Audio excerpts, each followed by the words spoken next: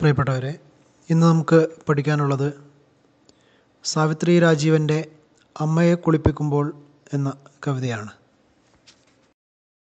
രണ്ടായിരത്തി പതിനാറിലെ കേരള സാഹിത്യ അക്കാദമി അവാർഡ്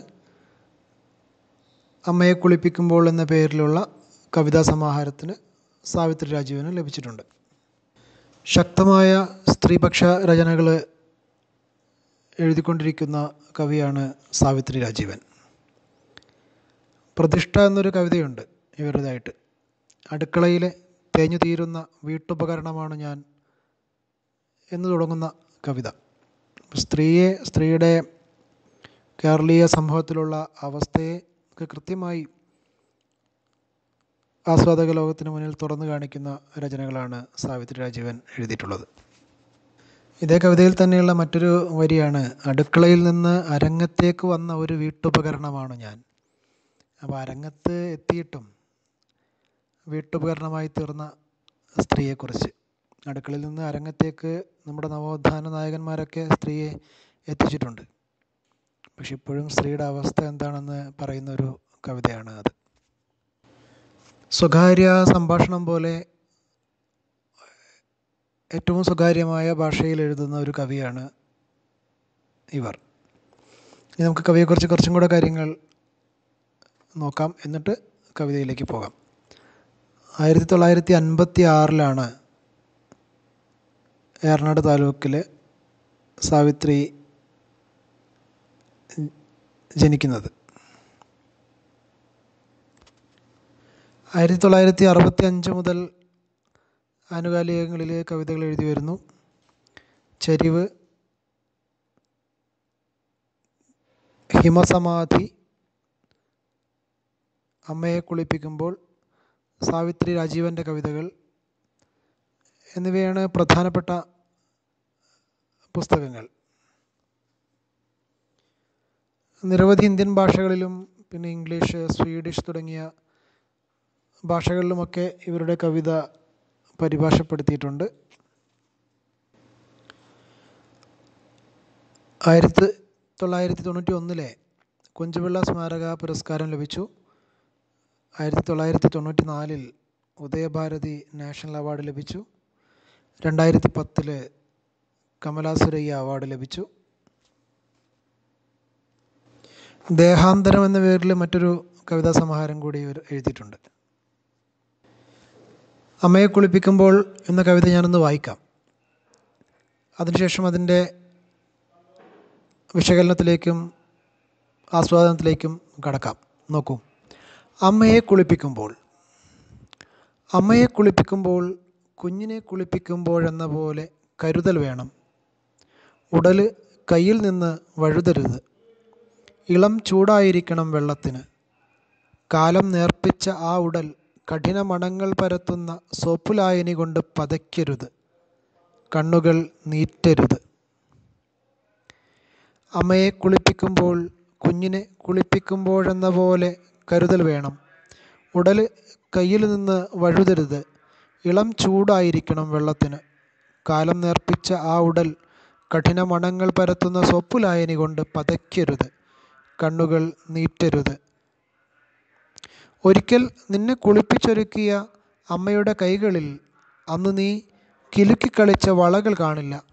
അവയുടെ ചിരിയൊച്ചയും നിന്റെ ഇളം കടിയേറ്റ പഴയ മോതിരം ആ വിരലിൽ നിന്ന് എന്നേ വീണുപോയിരിക്കും എന്നാൽ ഇപ്പോൾ അമ്മയുടെ കൈകളിലുണ്ട് ചുളിവിന്റെ എണ്ണമില്ലാത്ത ഞൊറിവളകൾ.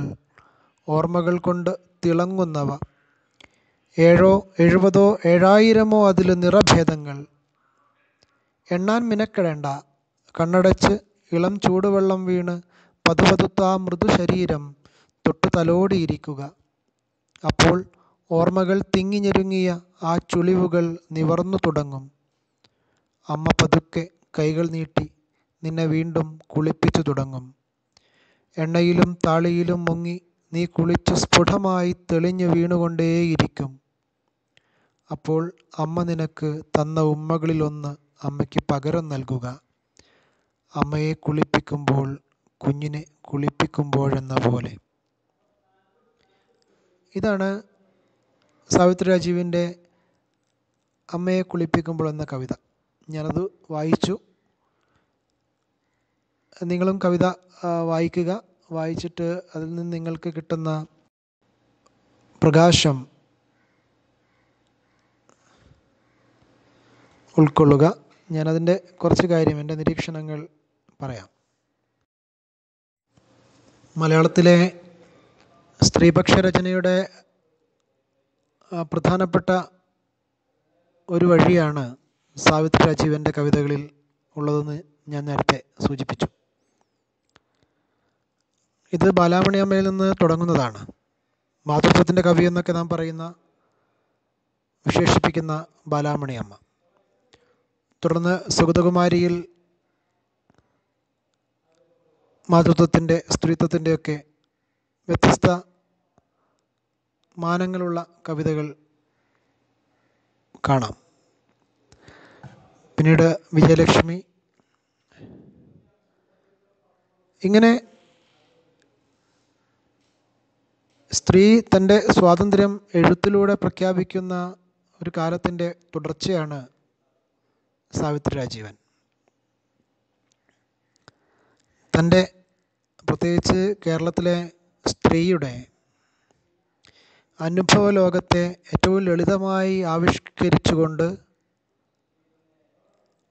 ആസ്വാദക ലോകത്തെ കീഴടക്കിയ ഒരു കവിയാണ് സാവിത്രി രാജീവൻ. അത് ഇപ്പോൾ നിലനിൽക്കുന്ന പുരുഷാധിപത്യ വ്യവസ്ഥകളെയൊക്കെ നിഷേധിക്കുന്നുണ്ട്. ഇങ്ങനെ പുരുഷാധിപത്യത്തെ നിഷേധിച്ചുകൊണ്ട് എഴുതുന്ന അതിന്റെ സ്ത്രീപക്ഷ വായനകൾ സ്ത്രീപക്ഷ ആഖ്യാനങ്ങൾ. അപൂർവമായി മാത്രമേ നമ്മുടെ സ്ത്രീ എഴുത്തുകാർ നടത്താറുള്ളൂ. അതിൽ തലയെടുപ്പോടെ നിൽക്കുന്ന ഒരു എഴുത്തുകാരിയാണ് സാവിത്രി രാജീവൻ. ഇപ്പോൾ ഞാൻ വായിച്ച അമ്മയെ കുളിപ്പിക്കുമ്പോൾ എന്ന ഈ കവിത രണ്ടായിരത്തി പതിമൂന്നിലാണ് മാതൃഭൂമി ആഴ്ച പതിപ്പിൽ പ്രസിദ്ധീകരിച്ചത്. പ്രസിദ്ധീകരിച്ച നാൾ മുതൽ തന്നെ മലയാളി ഹൃദയത്തോട് ചേർത്ത് നിർത്തിയ ഒരു കവിതയാണിത്. അതിന്റെ പ്രധാന കാരണം അതിലെ ഭാഷയിലെ ലാളിത്യവും പിന്നെ ഏതൊരു മലയാളിക്കും പരിചിതമായ പ്രമേയവും എന്നതാണ്. ഈ കവിത രണ്ട് തരത്തിലാണ് ആസ്വാദകരുടെ മനസ്സിൽ ഇടം പിടിക്കുന്നത്. ഒന്ന് അമ്മയോടുള്ള മക്കളുടെ കരുതലിന്റെ കവിതയായും രണ്ട് അമ്മയ്ക്ക് മക്കളോടുള്ള വാത്സല്യത്തിന്റെ അല്ലെങ്കിൽ കരുതലിന്റെ കവിതയായും. അമ്മ എന്നുള്ള വാക്ക് അമ്മയുമായുള്ള ബന്ധത്തെ മുൻനിർത്തിക്കൊണ്ട് മലയാളി പലതരത്തിൽ നിർവഹിച്ചിട്ടുണ്ട്. മാതൃത്വം പിതൃത്വം പോലെ അത്ര അനായാസമായൊരു കാര്യമല്ലെന്ന് നമുക്കറിയാം. ഒരു കുഞ്ഞ് ജനിക്കുന്നത് മുതൽ ആ കുഞ്ഞിനെ വളർത്തി കാര്യപ്രാപ്തി എത്തുന്നത് വരെയുള്ള കരുതലിനെയാണ് പലപ്പോഴും നാം മാതൃത്വമെന്ന് പറയാറ്. ജന്മം കൊണ്ട് മാത്രം ഒരു സ്ത്രീ അമ്മയാവണമെന്നില്ല. അമ്മയാവാനുള്ള കർമ്മമാണ് ഈ കവിതയുടെ അടിസ്ഥാനമായി വർത്തിക്കുന്ന ഒരു കാര്യം. അമ്മ ജീവിതം കൊണ്ട് കാണിച്ചു തന്ന നന്മകൾ ജീവിത പാഠം അത് തന്നെയാണ് അമ്മയോട് മക്കൾ കാണിക്കുന്ന കരുതലിന്റെ അടിസ്ഥാനവും. പത്രങ്ങളിലും മറ്റുമായിട്ട് അമ്മ കുഞ്ഞിനെ എറിഞ്ഞ് കൊല്ലുന്നതും പ്രസവിച്ച ഉടനെ കുഞ്ഞിനെ പാറമടയിലെ വെള്ളത്തിൽ കളയുന്നതും അങ്ങനെയുള്ള ഒരുപാട് വാർത്തകൾ നാം കേൾക്കുന്നുണ്ട്. അതുപോലെ പ്രായമാകുമ്പോൾ അമ്മയെ ഉപേക്ഷിക്കുന്ന മക്കളെക്കുറിച്ചും എല്ലാം വാർത്തകൾ നാം വായിക്കുന്നുണ്ട്. എന്നാൽ നമ്മുടെ സമൂഹത്തിൽ അമ്മ എന്നുള്ള സങ്കല്പം വളരെ മഹനീയമായ ഒന്നാണ്. അമ്മയെ കുളിപ്പിക്കുമ്പോൾ എന്ന ഈ കവിത ഒരു കാലത്ത് അമ്മ നമ്മെ കുളിപ്പിച്ച പോലെ നമ്മെ ശ്രദ്ധിച്ച പോലെ തിരിച്ച് വയസ്സാവുമ്പോൾ അമ്മയോട് നാം അതുപോലെ അതോ അതിലേറെയോ ശ്രദ്ധയോടെ കരുതലോടെ പെരുമാറുന്നതിനെക്കുറിച്ചും പറഞ്ഞു തരുന്നു. അമ്മയെ കുളിപ്പിക്കുമ്പോൾ കുഞ്ഞിനെ കുളിപ്പിക്കുമ്പോഴെന്ന പോലെ കരുതൽ വേണം. ഇങ്ങനെയാണ് കവിത തുടങ്ങുന്നത്. വാസ്തവത്തിൽ വാർദ്ധക്യമെന്നത് രണ്ടാം ബാല്യമാണ്. ഒരു പ്രായം കഴിഞ്ഞാൽ ഇപ്പോൾ അറുപത് കഴിഞ്ഞാൽ അത്തും പിത്തും എന്നും എഴുപത് കഴിഞ്ഞാൽ എന്തോ ഏതോ എന്നൊക്കെയുള്ള പഴയ ചൊല്ലുകൾ ഓർമ്മിക്കുക. പ്രായം കൂടിക്കൂടി വരുമ്പോൾ വീണ്ടും കുഞ്ഞുങ്ങളെപ്പോലെ പെരുമാറും വൃദ്ധർ. അപ്പം അങ്ങനെ അമ്മയെ ആവശ്യമായിട്ടുള്ള അമ്മയെ സ്വയം കുളിക്കാൻ സാധിക്കാത്ത അമ്മയ്ക്ക് ആ അമ്മയോടുള്ള പരിഗണന അല്ലെങ്കിൽ പരിചരണം ഒരു കുഞ്ഞിനോടെന്ന പോലെ വേണം. ഉടൽ കയ്യിൽ നിന്ന് വഴുതരുത്. ഇളം ചൂടായിരിക്കണം വെള്ളത്തിന്. കാലം നേർപ്പിച്ച ആ ഉടൽ കഠിനമണങ്ങൾ പരത്തുന്ന സോപ്പുലായനി കൊണ്ട് പതയ്ക്കരുത്. നിങ്ങൾക്ക് തോന്നിയ പോലെ നിങ്ങളുടെ തിരക്ക് അതിനനുസരിച്ച് അമ്മയോട് അമ്മയെ കുളിപ്പിക്കുമ്പോൾ പെരുമാറരുത്. കാലം ആ ഉടലിനെ നേർപ്പിച്ചിരിക്കുന്നു. എത്ര ഉറപ്പോടുകൂടി എഴുന്നേറ്റ് നടന്ന ഉടലാണ് അത്. മുമ്പ് നാം ദർശിച്ച നമ്മുടെ സൗന്ദര്യബോധം വളർത്താൻ കാരണമായ അമ്മ നമ്മുടെ ലോകവീക്ഷണം ഉണ്ടാക്കി തന്ന അമ്മ. ആ അമ്മയോട് നിങ്ങൾ വളരെ കരുതി ഉടൽ കയ്യിൽ നിന്ന് വഴുതാതെ ഇളം ചൂടുവെള്ളത്തിൽ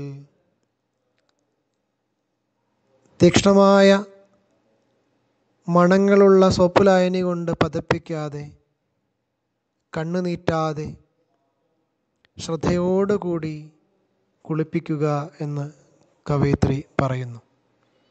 ഒരിക്കൽ നിന്നെ കുളിപ്പിച്ചൊരുക്കിയ അമ്മയുടെ കൈകളിൽ അന്ന് നീ കുലുക്കിക്കളിച്ച വളകൾ കാണില്ല. അന്ന് അമ്മയുടെ നല്ല കാലത്ത്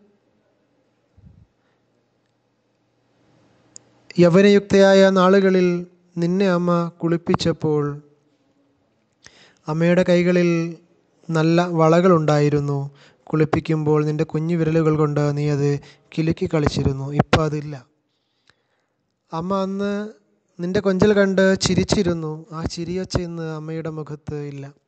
വിഷാദഭാവമാണ്. പ്രായം തളർത്തിയ ജീവിതം ഏറെ അനുഭവിച്ച നിസ്സംഗമായ ഒരു അവസ്ഥയാണ്. നിന്റെ ഇളം കടിയേറ്റ പഴയ മോതിരം ആ വിരലിൽ നിന്ന് എന്നേ വീണുപോയിരിക്കും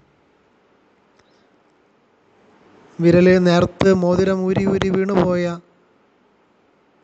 ആ അമ്മ. അമ്മയുടെ കൈകളിൽ ഇപ്പോഴുള്ളത് എന്താണ്?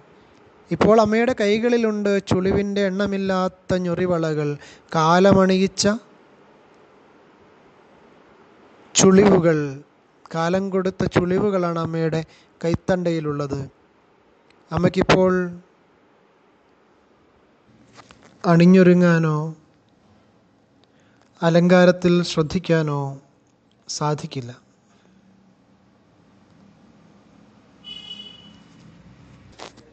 ഇപ്പോൾ അമ്മയുടെ കയ്യിൽ കാലപ്പകർച്ചകൾ സമ്മാനിച്ച ചുളിവിന്റെ വളകൾ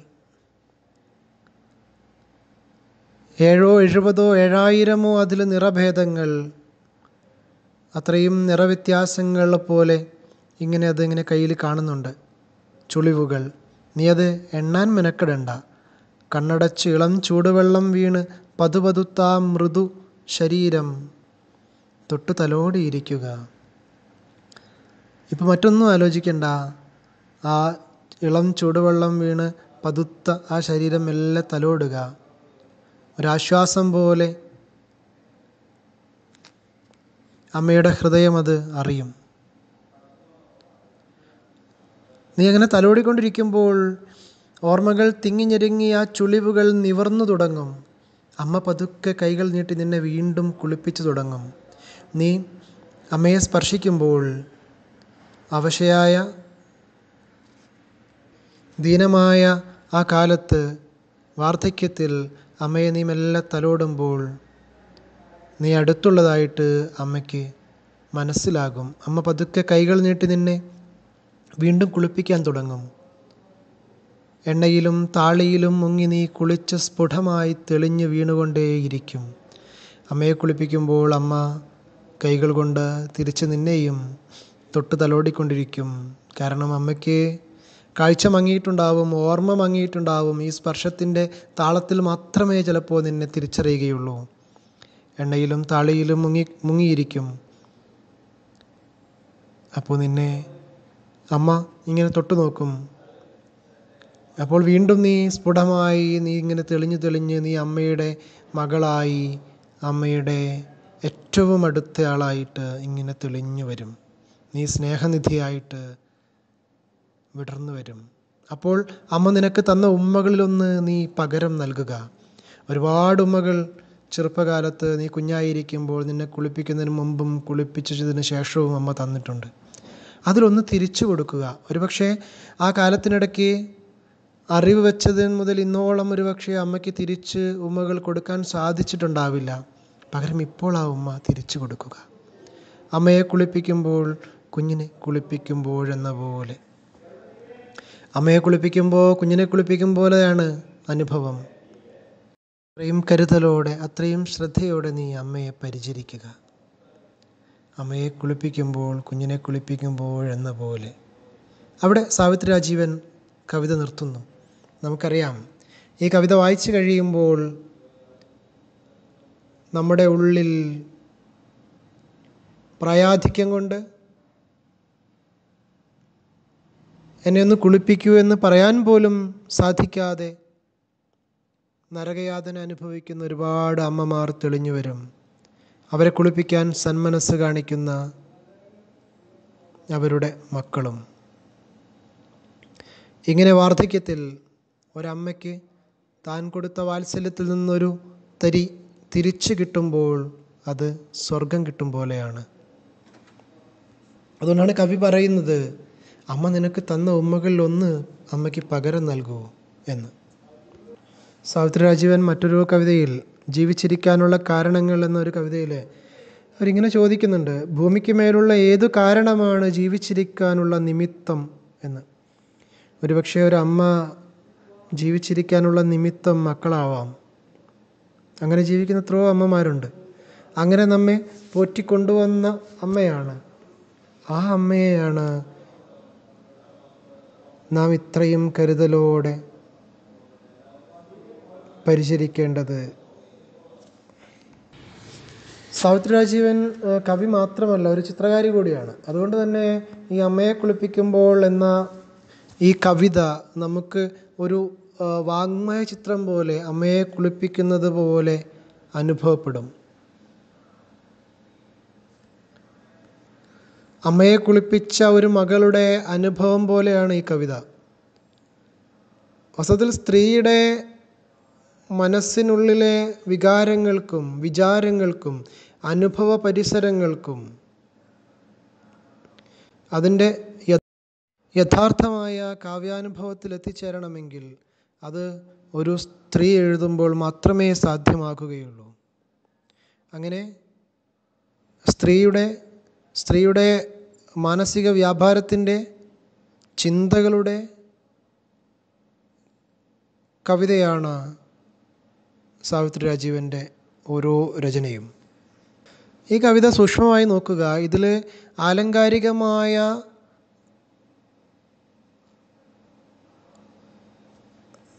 ഏച്ചുകെട്ടലുകളോ വളവുതിരിവുകളോ ഒന്നുമില്ല. വളരെ സൂക്ഷ്മമായി എന്നാൽ ഹൃദയത്തിൽ സ്പർശിക്കും വിധം ആവിഷ്കരിക്കുകയാണ് കവി. അങ്ങനെ നിത്യജീവിതത്തിലെ സൂക്ഷ്മമായ ചലനങ്ങളെ അടയാളപ്പെടുത്തുന്ന കവിയായിട്ട് മാറുകയാണ് സാവിത്രി രാജീവൻ. സാരി എന്ന കവിത കൂടി ഞാൻ ഓർക്കുകയാണ്. രണ്ട് കാലുകൾ ഒന്നാക്കി മാറ്റി അല്ലെങ്കിൽ കാലു തന്നെ മാറ്റി അതെന്നെ താമരപ്പൂവിലോ ഭാരത മധ്യത്തിലോ പ്രതിഷ്ഠിക്കുന്നു എന്ന് സാരി എന്ന കവിതയിൽ സാവിത്രി രാജീവൻ എഴുതുന്നുണ്ട്. രണ്ട് കാലുള്ള സ്ത്രീയെ ഒറ്റക്കാലിയാക്കിയിട്ട് ഒന്ന് ഇളകാൻ പോലും സാധിക്കാത്ത തരത്തിൽ വ്യവസ്ഥ വസ്ത്രധാരണം കൊണ്ട് നിനക്ക് ഏറ്റവും ഇഷ്ടപ്പെട്ട വസ്ത്രമാണെന്നൊക്കെ പറഞ്ഞ് കെട്ടിയിടുന്ന തരത്തിലുള്ള ഒരു സ്ത്രീ ജീവിതം നമുക്ക് ഉണ്ട്. ഇതിനെയൊക്കെ മറികടക്കാൻ വേണ്ടി തന്റെ എഴുത്തിനെ തന്റെ തൂലികയെ ഉപയോഗിച്ച കവിയാണ് സാവിത്രി രാജീവൻ. ഗദ്യകവിതയുടെ ശക്തിക്ക് ഏറ്റവും ഉദാഹരണമായി എടുത്തു പറയാവുന്ന ഒരു കവിതയാണ് അമ്മയെ കുളിപ്പിക്കുമ്പോൾ. പ്രൊഫസർ എരുമേലി പരമേശ്വരൻ പിള്ള സാവിത്രി രാജീവിന്റെ കവിതകളെക്കുറിച്ച് ഇങ്ങനെയാണ് അടയാളപ്പെടുത്തുന്നത്. കാലിക സാമൂഹിക സമസ്യകളോട് ശക്തിയായി പ്രതികരിക്കുന്ന ബോധമനസ്സിന്റെ പ്രകാശനമാണ് സാവിത്രി രാജീവിന്റെ കവിതകൾ. നമുക്ക് അമ്മയെ കുളിപ്പിക്കുമ്പോൾ എന്ന കവിത വായിക്കുമ്പോഴും ഈ ഒരു നിരീക്ഷണം ശരിയാണെന്ന് ബോധ്യമാകും. ഗദ്യകവിതയുടെ ഏറ്റവും ശക്തമായൊരു മുഖമാണ് ഈ കവിതയിലുള്ളത്.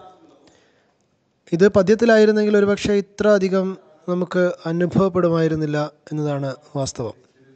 അപ്പോൾ ഓരോ കവിതയ്ക്കും ഓരോ കവിതയുടെ വൈകാരിക പരിസരങ്ങൾക്കും അതിന്റെ ഈണത്തിനും രൂപത്തിനും ഒക്കെയുള്ള ബന്ധം പ്രത്യേകം ശ്രദ്ധിക്കേണ്ടത് കൂടിയാണ്.